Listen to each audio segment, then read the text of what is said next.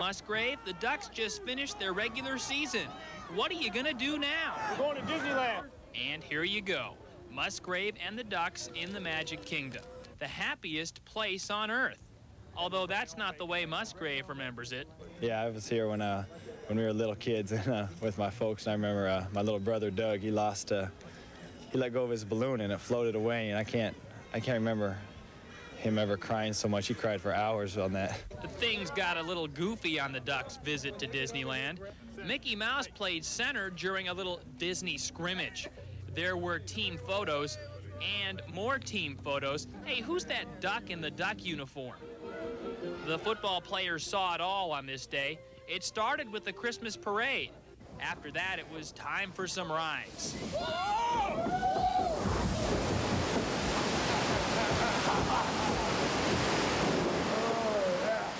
There were rides that got them wet and a few that kept them dry.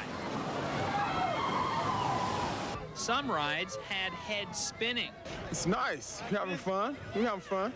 That teacup thing was a little scary. Yeah, it was a little. It Yeah, had me spinning teacup- around. Roy was trying to make me sick out there, and I was trying to stay cool. teacup But uh, ain't no it joke. was get with me a little bit. I don't like that. There were no predictions out of the Magic Kingdom. Mickey wouldn't commit to a Ducks victory in the Freedom Bowl. But you have to believe this guy is picking them. It's written all over his jersey. I guess you can hear who's standing next to me. It is the Duck, ladies and gentlemen. I can't ask him any questions. It's not good to throw that thing in there like that. Uh, who do you think's going to win tonight? Obvious question. What a dumb question, huh? Hey, did you meet your pal at Disneyland? Did you? Who'd win in a fight? I just want to know. Oh, hands down, huh? You, right? All right. But Bill Musgrave's going to throw a few touchdown passes, huh? All right. Got any special cheers for us tonight? Oh, that's cool. That is great. It's kind of an MC Hammer type deal, or what? All right. You can't touch this. All right. Michael. All right, thanks, Phil, and thank you, the Duck. Well, the kickoff's a little less than 30 minutes away now. The butterflies beginning to churn in the stomachs of the players, including Oregon quarterback Bill Musgrave. Now, coming up, you're going to get to meet the Oregon Ducks' most valuable player in a way you've never known him before.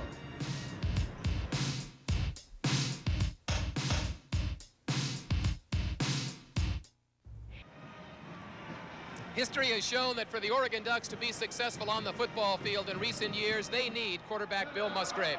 He remains relatively unknown nationally, but his achievements really rank with the greats of all time. Taking a look at Pac-10 conference passing yardage statistics, Musgrave right now ranks number five in career yardage, and he could be number three by the end of the Freedom Bowl game tonight. The names around him all went on to play pro football.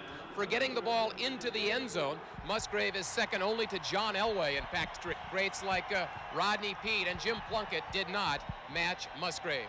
I spent a day with Musgrave recently. I found him to be a quiet and unassuming, yet extremely intelligent and extremely competitive. As far back as anybody can remember, Bill Musgrave has been extremely bright and extremely competitive.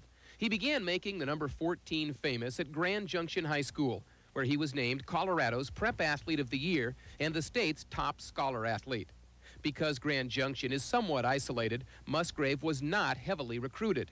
But the Ducks were interested, and after a walk on the Oregon campus, Musgrave was sold. I couldn't believe that the grass was green in January. I always lived in Colorado, and the grass dies in the winter, and it's kind of ugly. But uh, and I thought, boy, this is really West Coast right here, uh, destination resort or something like that. Five years later, there are no regrets from either side. Musgrave has rewritten the Oregon record books and is the winningest quarterback in school history. He does not have a classic arm or perfect technique, but Musgrave is a great performer who thrives on challenges, and his presence makes those around him better.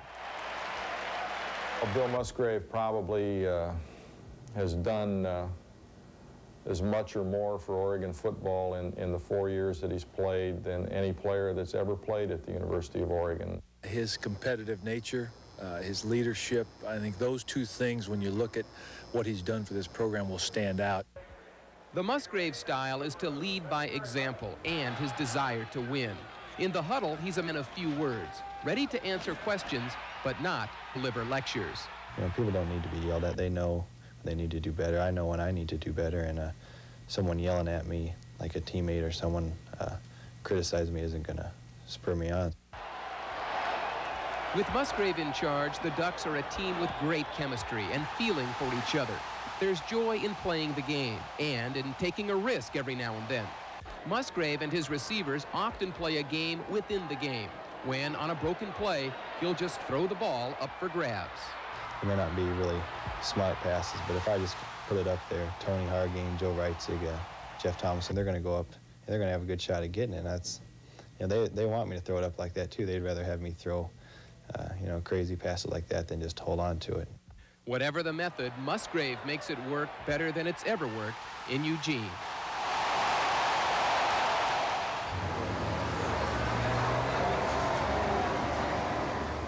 Although Musgrave turned 23 years old last month, inside he's still all boy.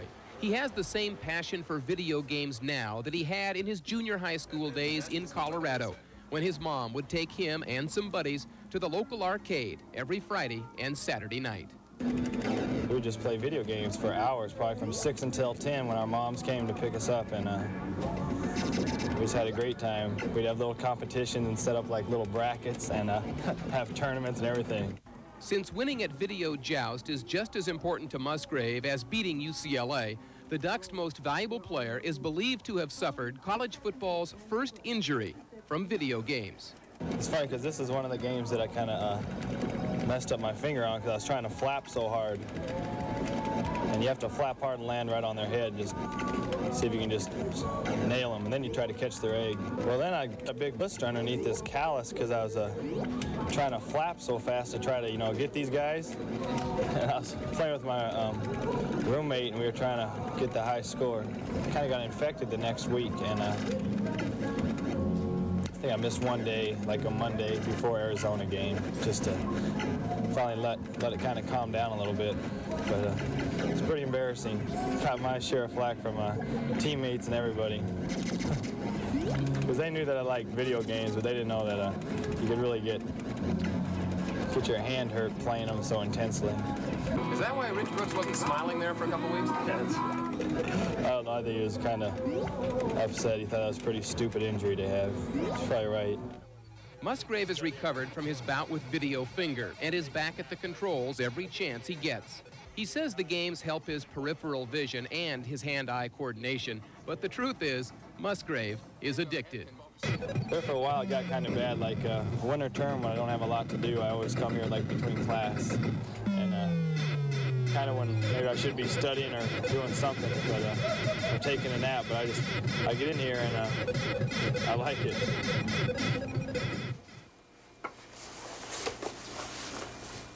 Musgrave's hours in the arcades have not come at the expense of his studies.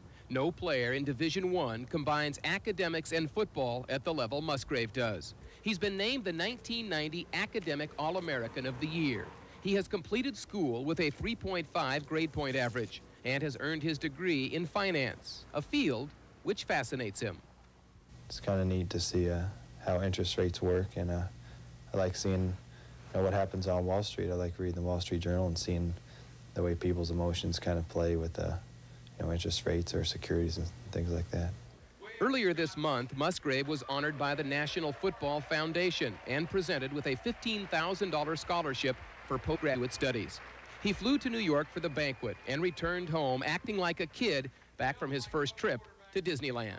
Yeah, it was just uh, incredible to see all those famous players. Uh, Doak Walker, Kyle Rote was there, and uh, I sat by Jim Plunkett at the head table, and all the people that I met, and I had my camera with me, so I took pictures with everyone I saw. And uh, Musgrave is considering using the scholarship money for law school, but his first goal is to play pro football.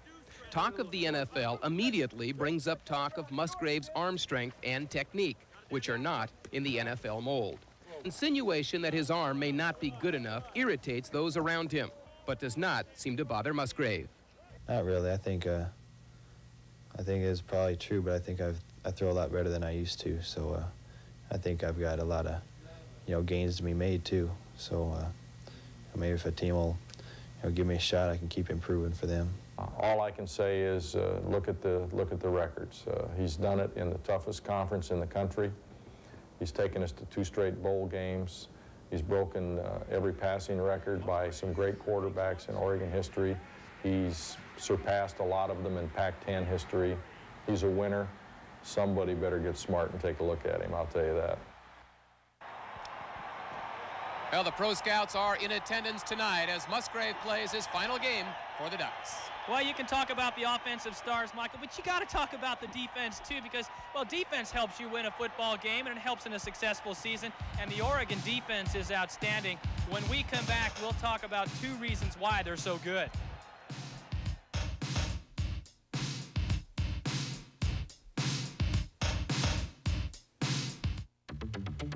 In addition to putting together great trucks like the new rodeo,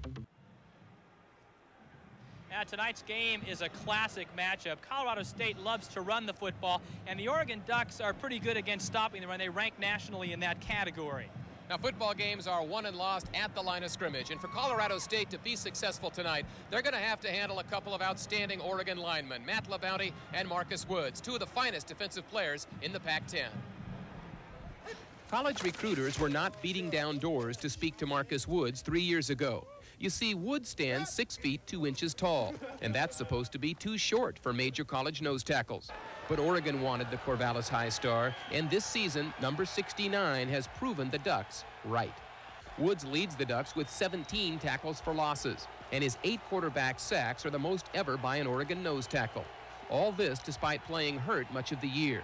Woods ignores the pain, just like he does the talk about being too short. You know, my mom's, you know, taught me a lot. You can do anything you want to do, no matter, there's no standards for anything. I can't let that stop me. I mean, if that's going to stop someone else, I know it's, it's not going to stop me. And I, I'll work whatever it takes to do it. I'll, I'll do it. It doesn't make any difference how short I am because I think I have better leverage being shorter. There's no question that Woods knows how to use his 283 pounds to his full advantage, and that's something others just can't ignore. League coaches voted Woods second team All Pac-10. And College Football Weekly now ranks Woods as the fifth best nose tackle in America. It's a ranking that Oregon coaches think might be a little low. Takes two guys to block him. And uh, you know when he's when he's healthy, he's as good as any around. Uh, you know, and he sometimes he you know he's not a picture perfect tackler, but you know he'll knock him down, he'll belly bump him, uh, he'll do anything, he'll throw himself into him. You know, and uh, he's just determined.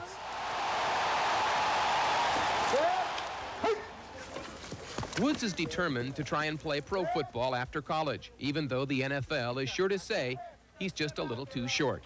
But he's also working for a degree in political science. He's interested in governments and how they operate. Like to be an ambassador in a foreign country or something? Or? Yeah, that'd be nice. Like to be ambassador to Jamaica or something. something like that. That'd be nice. Pac-10 coaches would love to see Woods working in some far-off land, but they know he'll be back for his senior season in 1991. And Woods is taking things one step at a time. Tonight, he gets a chance to show how well he performs in those warmer climates. Matt LaBounty had 10 sacks this year.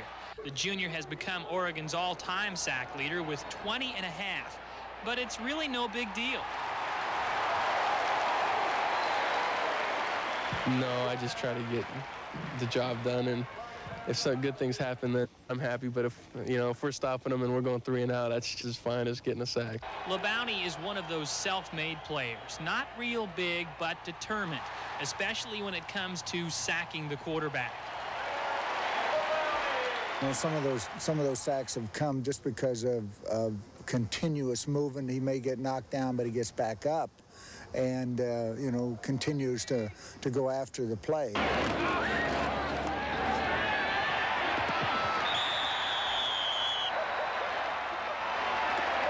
Well, Coach Sheffield, my position coach, spends a lot of time working uh, on technique with me and everybody else. And I think as far as that goes, I mean, that's helped out more than anything just because of my undersized. By Pac-10 standards, it is a small package, only 6'4 and 246 pounds. But LaBounty makes it all work through hard work. He's learned the best ways to get into the backfield and disrupt things. Against Colorado State tonight, he will do those same things. The game plan is once again fundamental and simple. Stop the running game and uh, win.